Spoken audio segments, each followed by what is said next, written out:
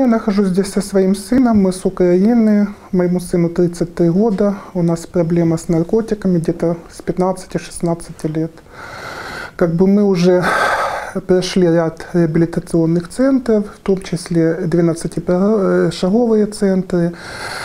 Э, Как бы результат был очень короткий, как бы это максимально?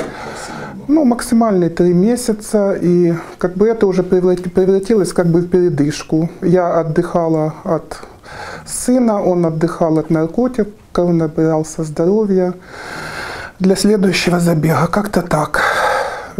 Все это было очень тяжело. У него за это время употребления было два брака, родилась дочь. Все это, естественно, было в период приема наркотиков.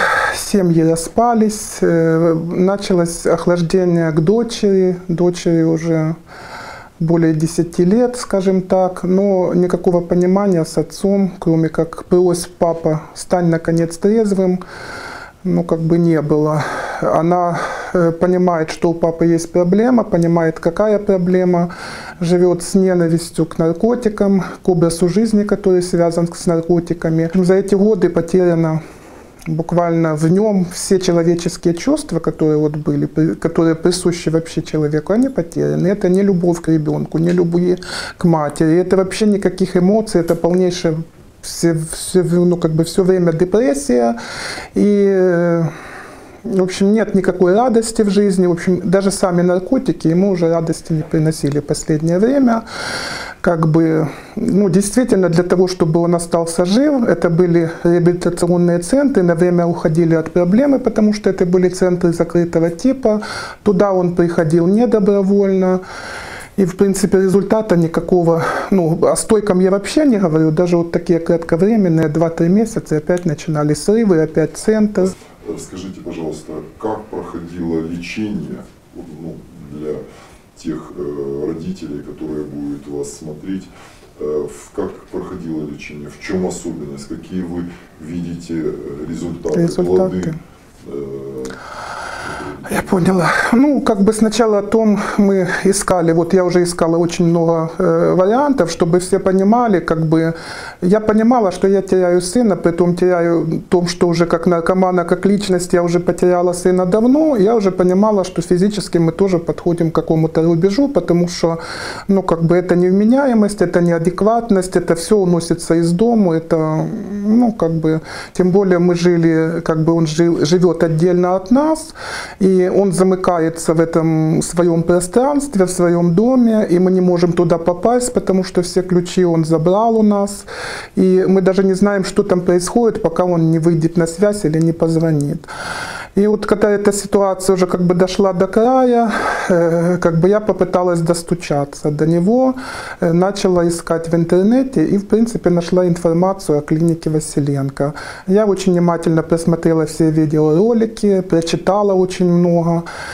И как бы попыталась донести эту информацию сыну. Ну, нужно сказать, что он услышал. Может быть, он сам уже начал понимать, что он идет куда-то не туда.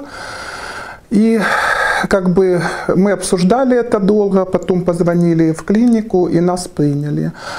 Э, Мы приехали сюда, ну, в общем-то, наверное, я не хочу, чтобы родители тоже испытывали иллюзию. И я сама, и мой сын как бы думали, что это все по, как бы какая-то волшебная палочка, взмах палочки, и все будет как бы на блюдечке, то есть наркомания уйдет. Оказалось, что это очень тяжелый труд.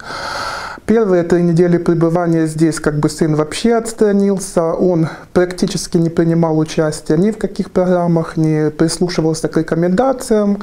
Ну, упорно труда, конечно, упорный труд э, психотерапевта, психолога. Очень много с ним говорили и, наконец-то, как бы достучались. Начало что-то проявляться, какой-то интерес к процедурам, интерес к э, тренингам, интерес к сеансу. Уже что-то начал чувствовать, как бы Впервые за 16 лет я вспоминаю, первый раз он вышел с сеанса, и вот эти слова со слезами, можно сказать, «мама, прости», это было как бальзам на душу. Я действительно не, не ожидала этого, и как бы это чувство нельзя описать, ну как бы сравнить ни с чем.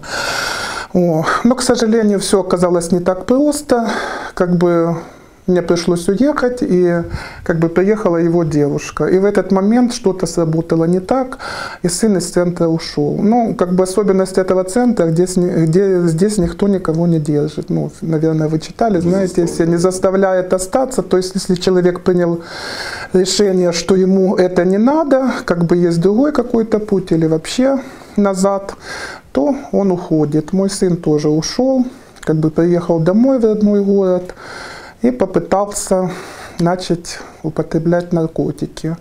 Но, видимо, он вернулся уже не тем, то есть э, те Невидимо, да, на самом деле он вернулся уже не тем, каким приехал, потому что как бы это, это не сработало, как по его словам. Он говорит, говорил так, когда он уехал, но потом он сразу же буквально стал проситься назад, да? И Да. как он говорил, я уже и не тот, что был, и еще я не могу. Да, да. Так, что-то он. Ну, дело в том, что как бы после тех сеансов, которые как бы проходили, и действительно они остались как бы в памяти, в сердце, в душе, то как бы он постоянно помнил слова докторов, психотерапевтов, да, что наркотики это смерть, боль, страх, и как бы он даже не мог спать, когда он вернулся, он постоянно слышал эти голоса, как бы какое-то напоминание, что это путь в никуда. Как бы я сразу, когда он уехал, я сказала, все, теперь все без меня, и выходи с этого положения сам как хочешь. Три дня он не приходил домой, потом пришел ко мне, стал уговаривать, что мама, давай звонить на центр, мне нужно туда возвращаться, я знаю, что мое место только там. Э, Ну, как бы я предоставила ему возможность, дала телефон, в принципе, он сам звонил, просился.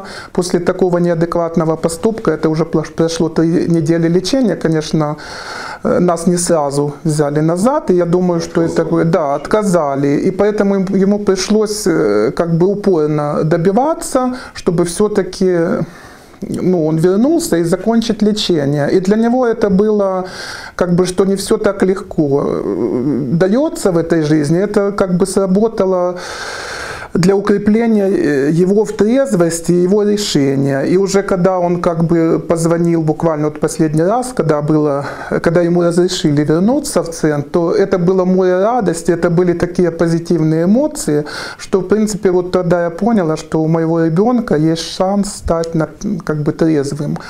И мы ехали вот всю дорогу сюда, да, он только и говорил, что он приедет, он обязательно станет трезвым. И дороги назад уже точно нету.